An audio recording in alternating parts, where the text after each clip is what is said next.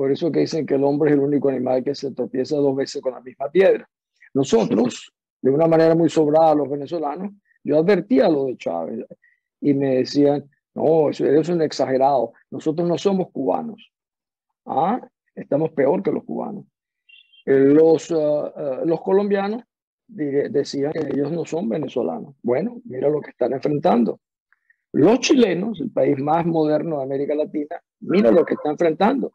Y en Chile no es porque sean ignorantes los que están participando mm. en esos movimientos, es por todo lo contrario. O sea, lo hace aún mucho más peligroso y más permanente eh, una reorientación política de Chile porque lo están haciendo gente que tiene una carga ideológica muy fuerte, eh, que no, no, es igual a la que, por ejemplo, puede ser el caso del Perú o de Nicaragua. Eh, y en el caso de México lo mismo, y la Argentina se repite la historia. Entonces, yo te decía al principio, ¿qué es la libertad para un trabajador en el estado de Yaracuy, donde yo tenía mi finca, que tú le hables del Estado de Derecho, lo que significa mm. la Constitución. Oye, le importa muy poco, como también le importa muy poco que, lo que sucede en Chile o lo que sucede en Nicaragua. Él apenas puede terminar de cumplir su trabajo para satisfacer necesidades básicas, que no son las mínimas.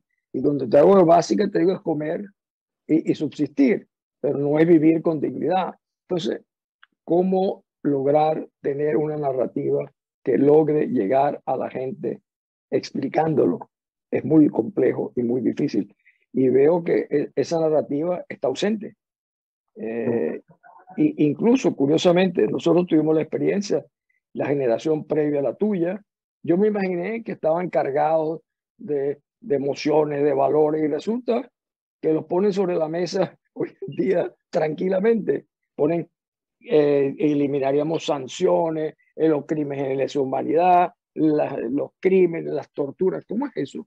Yo pensaba, afortunadamente, a la edad que ellos tienen y a la que yo tengo ahora, nunca he modificado mis valores, porque eh, al final, si tú has construido tus valores sobre unos pilares fuertes, que son los que tú aprendes en tu juventud, eh, es fácil seguir montando, agregando pisos encima, porque no vas a modificar tus bases. Resulta que en Venezuela, por ejemplo, los factores dinero, intereses, etcétera, han contribuido a corromper, ya no es solo al régimen, es corromper al país. Y cuando te digo corromper al país, a veces me da mucha tristeza, pero ¿qué puedes hacer? Cuando tú ves a la gente firmando el, carnet de la patria para que te den una caja de comida. Eso es el máximo de la humillación a costa de, víctimas inocentes de esa situación. Pero cuando tú vas adormeciendo una población y no tiene como contrapartida alguien que le genere la esperanza que tú estás hablando, lo que decía eh, eh, eh, entonces esa esperanza si no existe, no hay activación de la sociedad. Y yo creo que ante eso es lo que estamos enfrentados hoy.